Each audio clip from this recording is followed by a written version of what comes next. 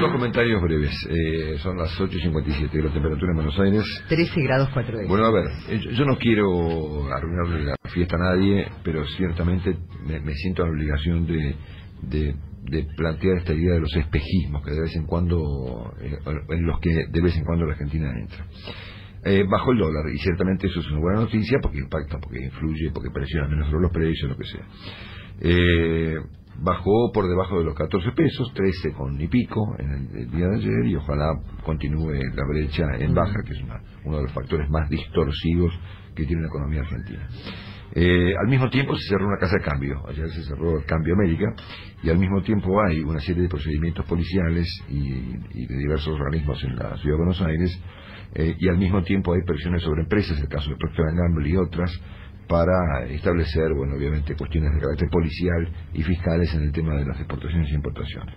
La primera pregunta que uno tiene que hacerse acá es qué relación hay entre una cosa y la otra. Hay gente que dice que no hay ninguna, gente que dice que hay alguna, pero ciertamente yo tengo que preguntarme qué vinculación hay entre el hecho de que vaya la policía o quien fuese y cierre una casa de cambio como América, que yo no lo conozco, pero parece una casa de cambio importante, tradicional, como se dice, que vayan a saber qué hacen, de qué laburan, digamos, ¿no? Pero pero se da una cuestión de, se en la bolsa, te da una cuestión, los cartelitos son testimoniales, ¿viste? Dólar 8,40 en la calle, una cosa testimonial.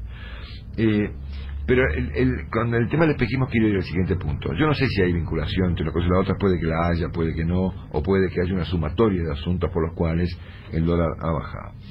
Pero la pregunta es, eh, las razones por las cuales había subido el dólar eh, en el final del señor Fábrega, ¿fueron eh, modificadas, fueron mejoradas o, fueron o están agravadas? Porque no va a ser cosa que entremos de vuelta en el mismo espejismo que entramos en la época del pobre señor Fábrega.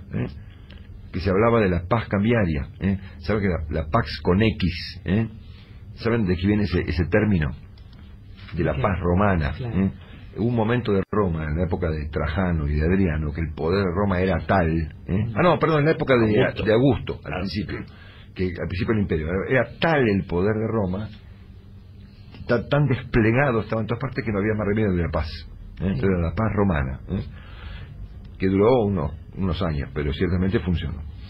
Eh, porque si las razones por las cuales el dólar había subido en su oportunidad y las razones por las cuales ahora bajó son razones de carácter policial, eh, y siendo que los factores de fondo no han sido modificados, sino que medio que han empeorado, según nos explicó esta mañana el señor Piñanelli, bueno, nada, me, da la impresión de que el gobierno debería estar atento a tratar de arreglar algún problema, eh, no a disimular sus consecuencias porque con la disimulación de las consecuencias estamos todos contentos. Y hoy salió el sol, estamos todos contentos. Ahora, es, toda una definición, no solamente del gobierno, sino del país, el hecho de que nos, em, nos embrollemos tanto con los espejismos, ¿viste? Que de repente nos creemos de que todo se resolvió. Bueno, segunda cuestión, y con esto nos vamos al corte. Eh, yo he venido describiendo en las últimas semanas este conjunto de herramientas que el gobierno se ha, se ha mm, bueno, se ha generado para sí mismo en los últimos tiempos.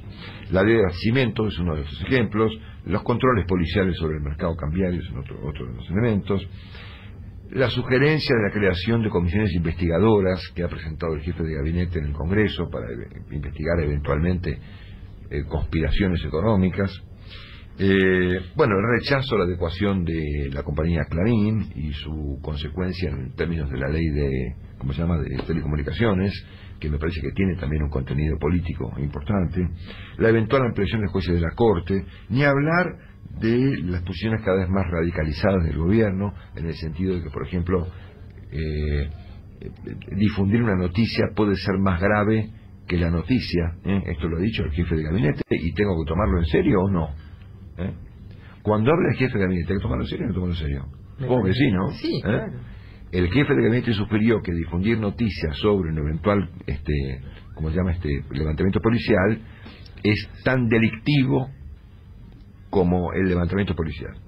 Esto es sedición para los periodistas. Está empezando a haber algunas persecuciones a Internet, ¿eh? algunas promovidas por los propios diputados del oficialismo. Eh, en este contexto, en este contexto, se inscribe, a mi juicio, la reforma al Código Procesal Penal. Esto es una herramienta que el gobierno eh, dispondrá de ella seguramente próximamente, que va a crear en la Argentina un ejército de fiscales. Un ejército de fiscales de unos una, cifra realmente significativa, unos, unos 250 en total, que tendrán unos 4.000 empleados en total, eh, que van a constituir, a juicio de mucha gente, una brigada persecutoria tanto para perseguir a las personas que no están de acuerdo con el formato de la Argentina de hoy, tanto para no perseguir más a aquellas personas que se han beneficiado con negocios en el gobierno. Por ejemplo, el caso del señor Báez. Anoche yo no lo pude ver después con Roberto García, pero me contaron que el fiscal Campagnoli hizo un comentario muy duro al respecto, en este mismo sentido. Sí, dijo claramente que establecer un año de plazo para una acción es directamente liberar a todo el mundo de, acá que bajo el investigación. bajo el argumento de que vamos a luchar contra la inseguridad, contra la puerta giratoria y contra los delincuentes extranjeros que vienen a Argentina solamente a delinquir, que cosa que por otra parte habría que hacer por otra parte, eh, vamos a un formato muy complicado en donde los jueces van a tener un papel muy secundario y donde los fiscales van a resolver sobre el destino de las personas, siendo que los fiscales van a ser designados por una persona que no tiene ninguna independencia, bueno, estamos complicados. Quien puso esto, y con esto cerramos en blanco sobre negro, es un señor que yo no conozco, que se llama Federico González. Federico González es, el, es un director de una consultora llamada González Valladares, que es una encuestadora, que últimamente ha cobrado alguna repercusión porque tiene el perfil ha publicado sus trabajos. Eh, y él escribió un libro del kirchnerismo y la voluntad de poder. ¿eh? Anoche eh, Jorge así sugirió algo por el estilo, es decir, a ver, mientras la oposición está como en una etapa, digamos, zen de su de su de su de su comportamiento político, la doctora, dijo Jorge, se lo va a llevar a todo puesto, ¿no es cierto? Bueno, quien puso esto en términos este, un poco más académicos, pero muy interesantes, y es cortito, con esto cerramos, es el señor Federico González, a quien le mandamos un saludo y le vamos a leer una parte de lo que él escribió el fin de semana, que me parece que vale la pena tenerlo en cuenta, siendo que hoy, justamente hoy, arranca en el Congreso la discusión por las modificaciones al Código Procesal Penal. Atención con estas tres o cuatro parrafitos que son muy ilustrativos respecto de lo que eventualmente está pasando en Argentina. Cuando falta menos de un año para las elecciones presidenciales, el oficialismo exhibe un vigor avasallante que le permite seguir dominando la agenda política. Cosa que no estaría mal, por cierto, ¿no? Pero... La reciente andanada de leyes impulsada por el gobierno lo muestra dispuesto a ejercer el poder hasta el último minuto del mandato de Cristina Kirchner. Esto no sería cuestionable si no, fuera por el típico modo en que el kirchnerismo arremete para lograr sus propósitos sin considerar el diálogo, el debate, el consenso y ni siquiera cierta mínima coherencia con su accionar anterior. Pero lo más cuestionable no son los modos poco prolijos de lograr sus objetivos, sino los fines a los que parecen apuntar. En efecto, los últimos movimientos del oficialismo refuerzan la tesis de que el gobierno nacional ha decidido arbitrar los medios para asegurar inmunidad ante eventuales juicios por actos de corrupción, desde tal conjetura, el proyecto oficialista de reforma del Código Procesal Penal y algunas negociaciones en torno a controlar la Cámara de Casación representarían el brazo jurídico institucional de una estrategia orientada a aquel fin mientras que el proyecto de ley de telecomunicaciones constituiría la rama mediática orientada a debilitar a los medios opositores, favoreciendo a los amigos.